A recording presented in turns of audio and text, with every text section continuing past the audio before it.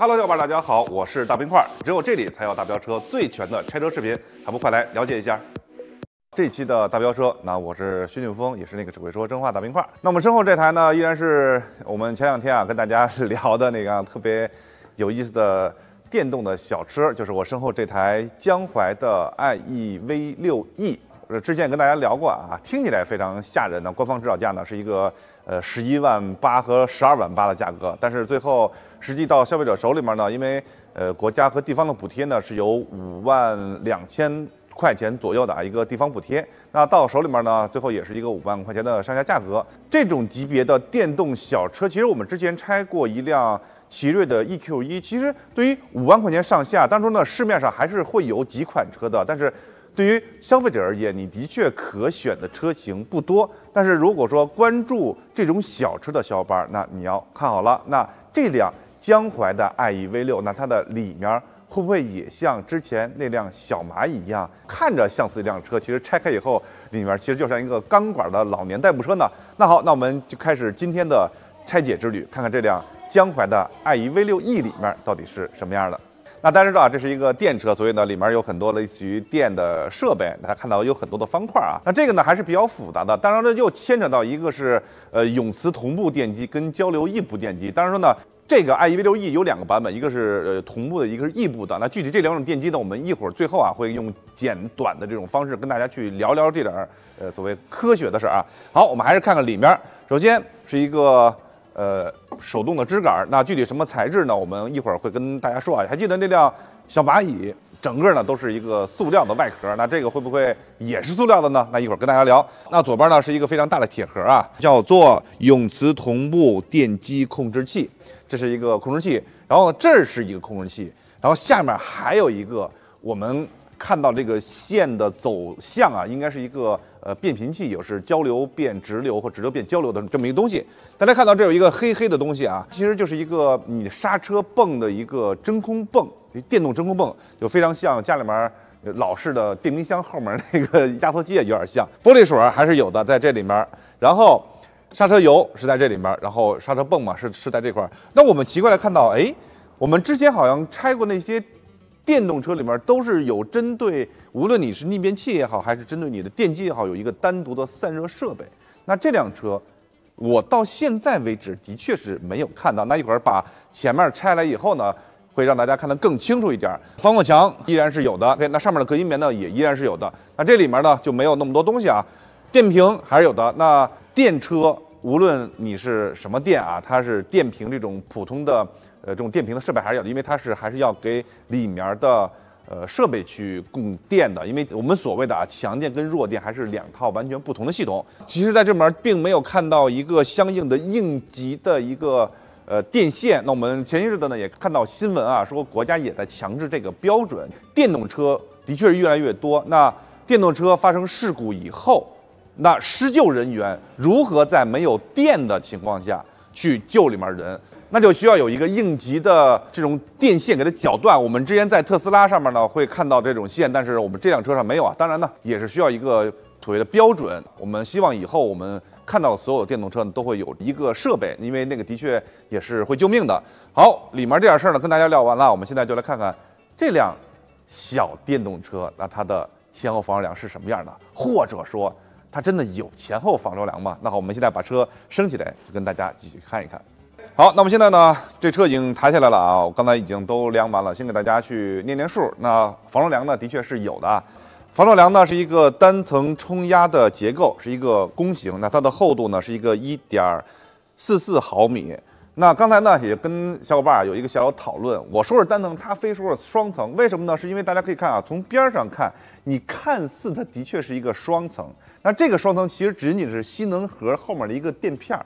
那其实过了吸能盒以后，从这儿到这儿呢，后面都是空的啊，它真的是一个呃单层的啊，不要被旁边的假象所迷惑，就像之前那辆呃长城的 VV 七一样啊，三层的其实呢就是假的啊，其实就是后面然后就会变成会少一层。那它吸能盒呢也是有的啊，它的吸能盒呢是一个方形的，哎呀还做的还挺规整的，竟然还有诱导槽。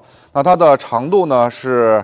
呃，七是一点三八毫米，那防撞梁到水箱的距离呢是七十九点四七。那其实这个呢不是一个水箱啊，它是一个呃冷凝器，是因为我刚才在上面时候的确没有看到电动机也好，还是逆变器也好，一个单独的散热的设备。我们直接拆过，也有很多的，呃，无论是混动车型也好，还是电动车型也好，都是有呃散热设备。但是这个车呢，的确没有。那具体说为什么？因为我不是一个就是电控学家啊，呃，只能说是不是因为它的功率比较小，或者说它的有更好的科技，然后被动式的散热会更好一些呢？可能是一定的原因。总的来说呢，就是只有一个小小的空调的冷凝器。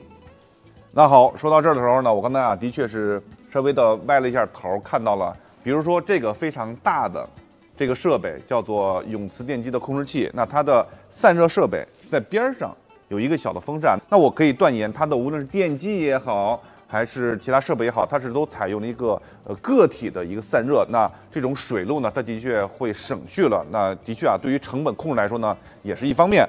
防撞梁的长度是一百零八点五，那它轮子的宽度呢是一百五十六。那在我们的评分表里面，这种比例下呢，也是一个两分的成绩。那说到这儿呢，大家可能会觉得，哎。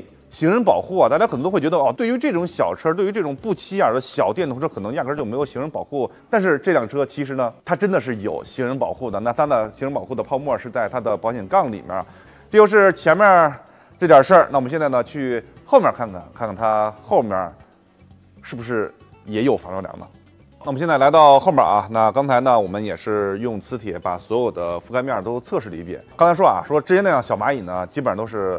呃，塑料件儿，那这辆车呢，呃，的确还是这种普通的钢的材质啊，无论是引擎盖也好，还是后备箱也好，还是翼子板也好，还是后面也好，以至于四个门都是非常普通的钢材。好的，那我们现在呢，看看它这个后的防撞梁啊，防撞梁呢也是有的啊，虽然说的确啊，就是像我刚才说的，麻雀虽小，但五脏俱全，除了没有发动机之外呢，呃，其他的真是跟普通的我们看到的汽油机的都是一样的，该有都有。那它后面的防撞梁呢，只不过是。呃，比较薄啊，只只是一个一点一一毫米，普通的单层冲压也是一个弓形的，也是做的比较标准。那后面呢，竟然也是有一个非常标准的吸灯盒，也是有相应的诱导槽啊。那它的后尾箱呢，跟防撞梁呢，这个这个是非常非常明显的，防撞梁要更突出一些，也就是在低速碰撞的时候呢，的确会更好一些啊。虽然呢。五万块钱的车撞完了以后呢，的确修的钱不会太多，但是呢，谁的钱也不是大风刮来的嘛，毕竟说能减少一些损失就减少一些损失。那这就是这辆车的一个整体前后防撞梁的状态啊，真的是该有的基本上都有了。那么现在就来看看这辆非常小的江淮 i 一 V 六，那它前后防撞梁它能够得多少分呢？我们现在过去看一下。那我们现在来算一下它前后防撞梁的分数啊。那我们前后防撞梁呢，总分依然还是四十九分。那它的最后的分数呢，前后防撞梁这块呢，得分是二十一分。其实呢，比我想象的真的会高一些。那刚才呢提到啊，是一个。呃，交流电机和直流电机的事儿，那呃大冰块呢，在这儿呢，还是用简单的话跟大家去稍微的聊一点儿这种同步跟异步电机这点事儿。那这辆车呢，是一个叫做同步电机。那同步电机跟异步电机这两个电机最大的区别，一个是需要有永磁体，一个是不需要永磁体。那永磁体是什么？就是磁铁。但是永磁体呢，它有一个问题，就是如果温度很高的话，它可能会有消磁的这种风险在里面，也就是它需要更好的一个散热设备。那它的优点呢是体积小，而且比较容易控制，因为它只需要一个无刷的调频器就可以呢控制它的电门的开度与关度。那交流呢，它是一个三相的呃电压，那它的磁力。是靠电去产生这个磁场，而去驱动这个电机的转动啊，它的速度调速是需要有各种各样的条件，电压、电流、频率等等，相对而言控制会更难一些。但是它也是有优点啊，不需要很好的散热，是因为里面没有一个永磁体。但是呢，这些呢只仅仅是一个对这两种电机一个书面上的一个简单。简单来说呢，就是一个是更便宜一些。然后一个是更贵一些，一个是不好控制一些，一个是好控制一些。这一款用的是一个叫做同步的永磁电机。那它具体好不好开，它是否真的就像书面上理论上来说那么好控制呢？当然也需要关注一下我们的公众号大飙车，因为我们之前对这辆车呢也是进行了一番测试啊，就是开起来大冰块都会笑的一款车。